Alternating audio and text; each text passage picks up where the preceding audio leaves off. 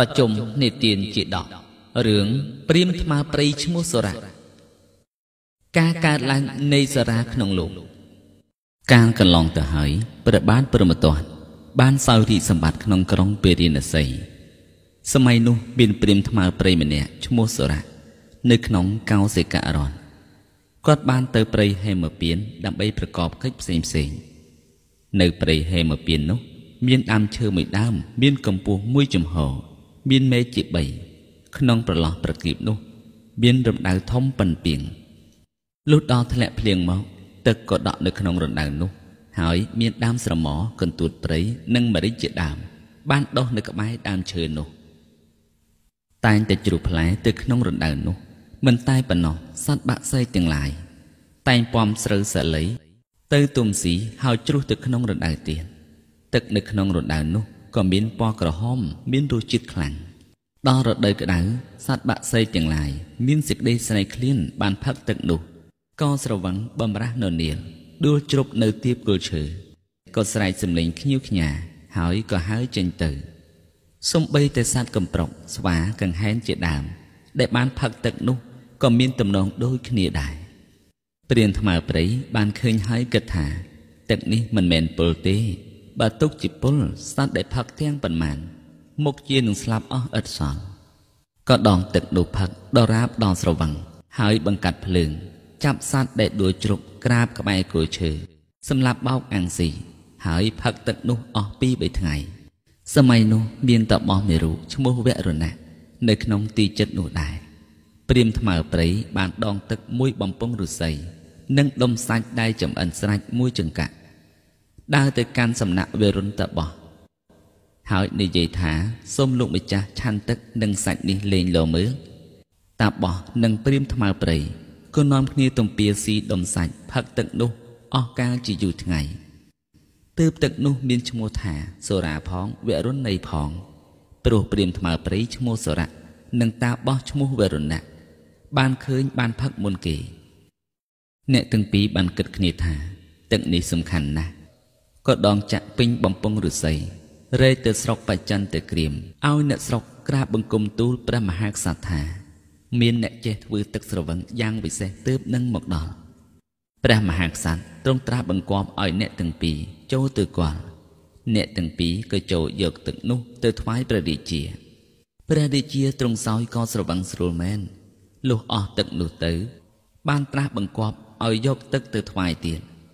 ជនទាំងពីរនាក់នាំទឹកសូរានោះទៅបានពីរបីថ្ងៃទើបគិតគ្នាថា យើងមិនអាចយកទឹកចនិចបានទេ ហើយកំណត់យកនៅគ្រឿងផ្សំគ្រប់មុខមកផ្សំធ្វើសូរាក្នុងនគរនោះ អ្នកនគរនាំគ្នាផឹកសូរានោះទៅរាល់រាល់គ្នាក៏ទៅជាអ្នកមានសេចក្តីប្រមាថក្នុងការងារបានធ្លាក់ខ្លួនទៅជាអ្នកកំសត់ទុរគត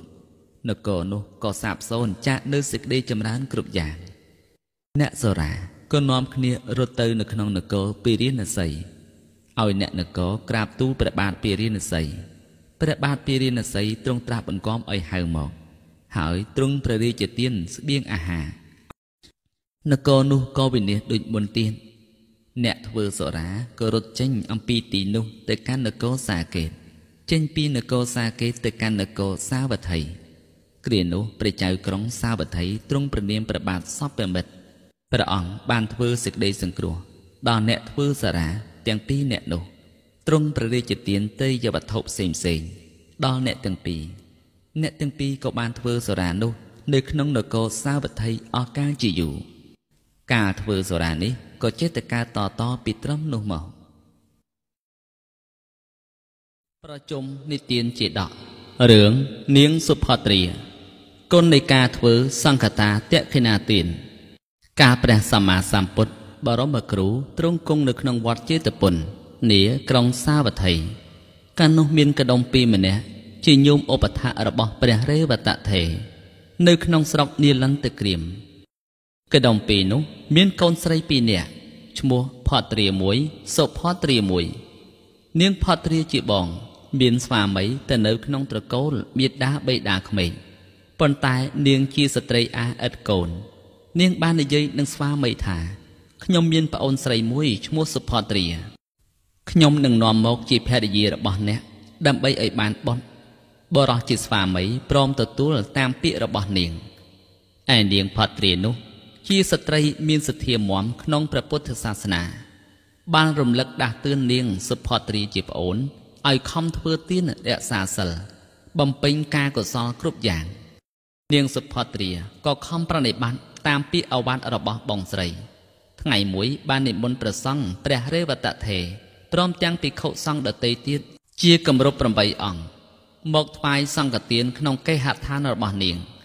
ព្រះរេវតថេលោកមានប្រតិករុណា ចង់ឲ្យនាងសុផត្រាបាននៅកុសលផលបុណ្យច្រើនលោកក៏នាំភិក្ខុសង្ឃទាំង8អង្គឡើងទៅគង់លើអាសនៈហើយប្រាប់ថា នាងចូលថ្វាយទានដល់សង្ឃចោះ នាងសុផត្រាក៏លើកភោជនាហារទៅប្រគេនព្រះសង្ឃ8អង្គហើយបានតាំងចិត្តចំពោះសង្ឃតែម្យ៉ាងលុះឆាន់ហើយព្រះរេវតថេបានធ្វើផតានុមោទនារួចក៏និមន្តទៅអារាមវិញ ចំណែកខាងនាងសុផត្រាដល់អស់អាយុបានទៅកើតនៅក្នុងឋាននឹមមានរតីឯនាងផត្រាជាបង ជាអ្នកពេញចិត្តក្នុងការធ្វើទានដែរដល់អស់អាយុបានទៅកើត ជាបាតបច្ចារិកា របស់ព្រះអិននាឋានត្រៃត្រឹងក្នុងពេលនោះនាងសុផត្រាទេវធីតាបានរំពឹងមើលនៅបបកម្មរបស់ខ្លួនឃើញថា ដែលបានមកកើតនៅក្នុងឋាននៅមាននរតីនោះ ដោយសារអាវាតរបស់នាងផត្រាជាបងទៅបនាងនឹករកនាងផត្រាក៏បានឃើញនៅក្នុងឋានត្រៃត្រឹង មានយុស័កទៀបជាងនាង នាងមានចិត្តអាណិតអាសូរបងស្រីខ្លាំងណាស់ ទៅផុសចុះទៅឋានត្រៃត្រឹងចូលទៅប្រាសាទនាងផត្រាទេវធីតានាងផត្រាទេវធីតានោះមិនស្គាល់ជាប្អូនរបស់ខ្លួនឡើយទើបសួរថាមនានាង មានដេកជះច្រើនថ្កុងថ្កាងរងរឿងដោយពន្លឺរស្មីក្របដណ្ដប់នៅពួកទេវតាក្នុងជន់តាវតឹងចុះនាងមកអំពីឋានាជាតិមុនបានធ្វើបុណ្យដូចម្ដេចនាងសុផត្រាទេវធីតា ប្រាប់ថាបបិទ្ធអ្នកបងខ្ញុំមកអំពីឋាននៅមានរតីកាលពីជាតិមុនខ្ញុំត្រូវជាបងប្អូនបង្កើតរបស់អ្នកបង ដែលខ្ញុំមានដេកចាស់រងរឿងយ៉ាងនេះដោយសារអាវ៉ាត់របស់អ្នកបងនេះឯងនាងផត្រាសួរទៀតថាមនានាងទេវធីតានាងបានធ្វើបុណ្យអ្វីបានជាមានបុណ្យស័ក្តិធំជាងយើងយើងកាលនៅឋានមនុស្សបានធ្វើបុណ្យច្រើនណាស់ហេតុអ្វីក៏មានស័ក្តិតូចដូច្នេះ នាងសុផត្រាប្រាប់ថា អ្នកបងធ្វើទានច្រើនមែនប៉ុន្តែបានធ្វើតែបាតិបុគ្គលិទានគឺទានចំពោះតែបុគ្គលបើចំពោះខ្ញុំខ្ញុំតាំងចិត្តចំពោះសង្ឃតែម្យ៉ាង បានជាខ្ញុំមានស័ក្តិធំជាងអ្នកបងនិយាយដូច្នោះហើយក៏លៀននាងផត្រាត្រឡប់ទៅឋានរបស់ខ្លួនវិញថ្ងៃមួយព្រះមោគលាននិមន្តទៅឋានត្រៃត្រឹងបានជ្រាបប្រវត្តិរបស់នាងទាំងពីរអំពីសំណាក់របស់ព្រះអិនហើយ ក៏ចុះមកឋានមនុស្សវិញនាំដំណើរនោះទៅក្រាបទូលព្រះដ៏មានព្រះភិក្ខព្រះដ៏មានព្រះភិក្ខទ្រង់ប្ររពនៅរឿងនោះឲ្យជាហេតុហើយទៅសម្ដែងនៅអានិសង្ឃនៃសង្កតាតក្ខិណាទានជាភេយោភាពតរៀងទៅប្រជុំនៃទានជាដោះរឿងច័ន្ទឌីលបណ្ឌិត ការលុបគុណជាឆ្នាំបន្សាបលទ្ធផលក្នុងលោក កាលកន្លងទៅហើយព្រះបាទព្រមទត្ត បានសោយរាជសម្បត្តិក្នុងក្រុងពេរិណសីកាលនោះព្រះសម្មាសម្ពុទ្ធបរមគ្រូទ្រង់សោយព្រះជាតិក្នុងត្រកូលច័ន្ទឌីលនាច័ន្ទឌីលក្រៀមមានប្រាជ្ញាឆ្លៀសវៃចេះសពនៅមុនវិសេសអាចធ្វើឲ្យផ្លែឈើផ្លែខុសរដូវបាន ពួកមហាជនទាំងឡាយបានហៅព្រះពោធិសត្វថាច័ន្ទឌីលបណ្ឌិត សម័យនោះ មានបុត្ររបស់បរោហិតម្នាក់នៅក្នុងក្រុងពិរិណសី មានឈ្មោះទេវបុត្រកុមារជាមនុស្សទុច្ចរិតអកតញ្ញូបានដឹងថាច័ន្ទឌីលបណ្ឌិតចេះមុនវិសេសដូច្នោះក៏ចូលទៅសុំរៀនទៅដល់ឃើញច័ន្ទឌីលបណ្ឌិត កំពុងរែកផ្លែស្វាយមកអំពីព្រៃក៏ស្ទុះទៅទទួលយកអម្រែកពីស្មារែកឡើងទៅលើផ្ទះដាក់អម្រែកហើយថ្វាយបង្គំសូមរៀនមុនអំពីច័ន្ទឌីលបណ្ឌិត ច័ន្ទឌីលបណ្ឌិតបានក៏លេចឃើញស្គាល់លក្ខណៈជាមនុស្សមិនល្អក៏និយាយថាមុនរបស់ខ្ញុំពិបាករៀនណាស់មនុស្សមិនល្អរៀនមិនបានទេ តាំងពីថ្ងៃនោះមកច័ន្ទឌីលបណ្ឌិតមិនអើពើនឹងការបង្រៀននោះឡើយបើទោះបីជាទេវបុត្រកុមារខំគោរពប្រណិប័តយ៉ាងណាក៏មិនបង្រៀនព្រោះយល់ច្បាស់ថាបើរៀនចេះទៅក៏មិនបានការចំណែកខាងទេវបុត្រកុមារបានដឹងថា ចន្ទឌីលបណ្ឌិតមិនព្រមបង្រៀនហើយក៏ទៅនិយាយអង្វរភរិយារបស់ចន្ទឌីលបណ្ឌិតឲ្យជួយសុំនាងភរិយាទើសទាល់ពេកព្រោះទេវបុត្រកុមារនៅបំរើយូរហើយមិនព្រមទៅណាសោះក៏និយាយសុំស្វាមីឲ្យជួយបង្រៀនមុនដល់ទេវបុត្រកុមារចន្ទឌីលបណ្ឌិតទើសទាល់ពេកក៏ព្រមបង្រៀនទេវបុត្រកុមារការបរៀនចេះដឹងសពគ្រប់ហើយសុំលាទៅផ្ទះវិញ មុននឹងទៅចន្ទឌីលបណ្ឌិត បានឲ្យអូវាថា មុននេះវិសេសណាស់យើងបានបង្រៀនអ្នកសពគ្រប់អស់ហើយ ចូលអ្នករក្សាទុកឲ្យល្អបើទៅក្នុងទីណាទីណា មានគេសួរថាដូចម្ដេចអ្នកត្រូវឆ្លើយតាមការពិតកុំកុហកឡើយទេវបុត្រកុមារទទួលថាសាធុសាធុហើយលាអាចារ្យចេញទៅសំដៅទៅកាន់ក្រុងពារាណសី ដល់ពាក់កណ្ដាលផ្លូវបានឃើញស្វាយមួយដើមក៏រីមុនតាមក្បួនដែលខ្លួនបានរៀនដាំស្វាយនោះបញ្ចេញផ្លែផ្កាចាស់ទុំមួយរំពេចក៏បេះផ្លែស្វាយនោះរែកចូលទៅក្នុងក្រុងពារាណសីថ្ងៃមួយអ្នករក្សាឧទ្យានរបស់ព្រះបាទព្រហ្មទត្តបានឃើញផ្លែស្វាយទុំខុសកាលក៏សួរហេតុផលសពគ្រប់ហើយទិញផ្លែស្វាយនោះយកទៅថ្វាយព្រះបាទព្រហ្មទត្តព្រះបាទព្រហ្មទត្ត ទ្រង់បានជ្រាបថា ទេវបុត្រកុមារចេះមុនដូច្នោះ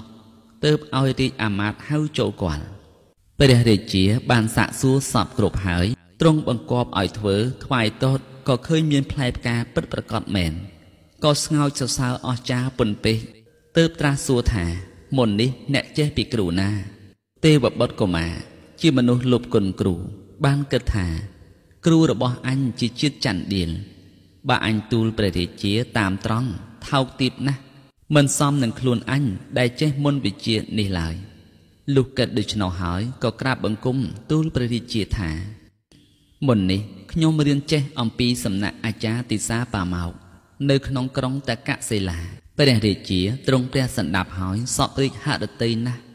ទ្រង់ឲ្យនៅក្នុងព្រះបរមរាជវាំងជាមួយនឹងព្រះអង្គព្រឹកឡើងបាននាំទៅឧទ្យាន មានសេនាយោធាហែមហំទៅជាច្រើន ទៅដល់ទ្រង់ប្រើទេវបុត្រកុមារឲ្យធ្វើស្វាយមួយដើមឲ្យមហាជនមើល ទេវបុត្រកុមារបានដើរឈរចិត្តហើយរីមុនប្រោះទឹកដើមស្វាយនោះអស់វិរៈ3ដង ស្វាយមិនបានផ្លែផ្កាឡើយក៏ឈរនៅស្ងៀមទើបព្រះរាជាត្រាស់សួរថាមនាលទេវបុត្រកុមារហេតុអ្វីក៏ជាអ្នកឈរនៅស្ងៀមដូចជាកំណាត់ឈើដែលគេបញ្ឈរចោលយ៉ាងនេះ ទោះបីព្រះរាជា ត្រាស់សួរយ៉ាងណាក៏រកពាក្យឆ្លើយមិនរួចព្រោះដឹងថាមុនរបស់ខ្លួនវិនិច្ឆ័យអស់ហើយក្នុងពេលនោះព្រះរាជាទ្រង់ពិរោធជាខ្លាំងបានប្រើឲ្យរាជអាមាត្យតាក់កអូសចោលទៅខាងក្រៅឧទ្យាន តាំងពីថ្ងៃនោះមកទេវបុត្រកុមារក៏សាបសូន្យចាក់លៀបសការៈដរាបដល់អស់ជីវិត